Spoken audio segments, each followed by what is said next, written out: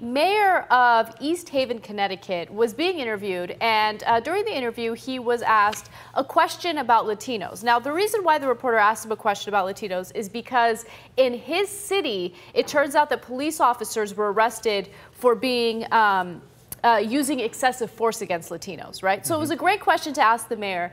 Here's what his answer was. What are you doing for the Latino community today? I might have tacos when I go home. I'm not quite sure yet. I have spent two years in Puerto Rico. Um, I will probably do the same thing for the Latino You community. realize that's not really the comment to say right now. But You I might have have tacos done- tonight. I might have spaghetti tonight. Being in, of Italian descent, um, I could go out and ha- I've had uh, ethnic food. And when you ask me what I was doing for Latinos tonight, I may go out and have a Latino dinner in the Latino community. There's nothing wrong with that. And you could twist it and turn it whichever way the press decides to do. Jeez. That's amazing. I Like- might have tacos tonight. I might have spaghetti tonight. I've had ethnic food. What? Yeah. I mean, you kidding me? Uh, if I want to help the Chinese, maybe I could get some General Chow's chicken.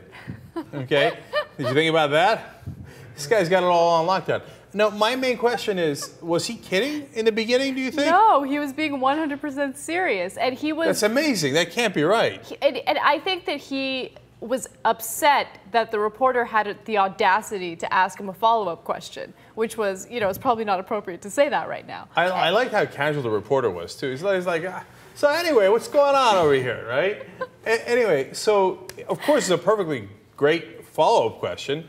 And then he went into a panic. Then he's like, "Go on, what? I might have spaghetti and uh, uh, what? What? It was. I've had ethnic there?" food. I spent two years in Puerto Rico. Some of my best friends are Latino. Did you have a lot of tacos in Puerto Rico? You know, but is he not merciful? He might have a Latino dinner in a Latino community. Oh well, then that. That totally it. changes everything. Do you guys think? I want to ask you guys. Do do you think he was joking in the beginning, or do you think he was totally serious? Like he thinks that like helping having tacos would help Latinos. I personally think he was serious. So, yeah, I think he was serious, and when he caught himself, he backpedaled over the top. Uh huh. So, yeah. Jayar Serious or no?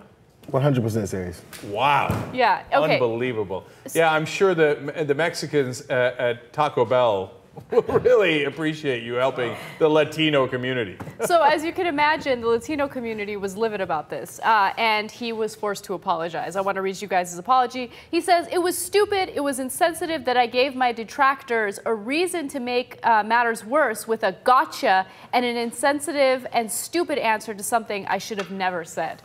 Yeah, that was a terrible apology. Yeah. Yeah, uh, it wasn't my fault. It's my critic's fault for doing a gotcha on me. Yeah, no, it's your fault for being a jackass. Saying you're gonna. First of all, apparently you have zero plans to help Latinos. I mean, let's talk about that for a second, right? Because like he has never even thought of it to the point where like, like oh, helping Latinos, I don't know, tacos? Tacos? I like tacos. burritos, empanadas. I don't know. Is that- I like tacos.